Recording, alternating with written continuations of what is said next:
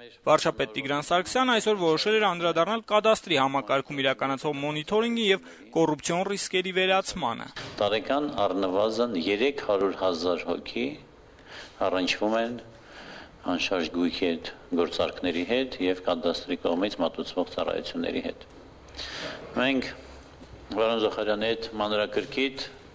դիտարկել ենք բոլոր ծառայությունները, որոնք մատուցվում են։ Կառավարությանն առընթեր անշարժ գույքի կադաստրի պետական կոմիտեի նախագահ Երվան Զախարյանը իր հերթին շեշտեց, թե վերջին տարիների ուսումնասիրություններից ցույց են տալիս, որ իրոք կադաստրի մարմիններում որոշակի բացթողումներ կան եւ կա քաղաքացիների արդարացի դժգոհությունը։ Շուտով նաեւ ազգային ժողովի հավանությանը կներկայացվի համակարգի բարեփոխումների վերաբերյալ օրինագիծ, որը թույլ կտա կադաստրին աշխատել լրիվ նոր ռեժիմով։ Մինչ այդ, սակայն ըստ Երվան Զախարյանի որոշակի լրացուցիչ քայլեր ձեռնարկելու կարիք կա կա։ Այն չափագրումները, որոնք կատարվում են կադաստրի պետական մարմինների կողմից,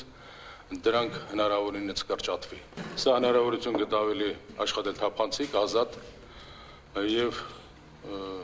այն կոռուպցիոն ռիսկերը, որոնք այսօր կան իրոք համակարգում, հրաժարվել եւ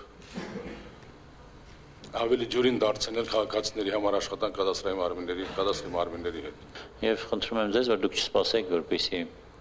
մեր մոնիտորինգի խումբը բացահայտի ինչ որ ռիսկեր, կոռուպցիոն եւ այլն։ Դուք ինքներդ նախաձեռնեք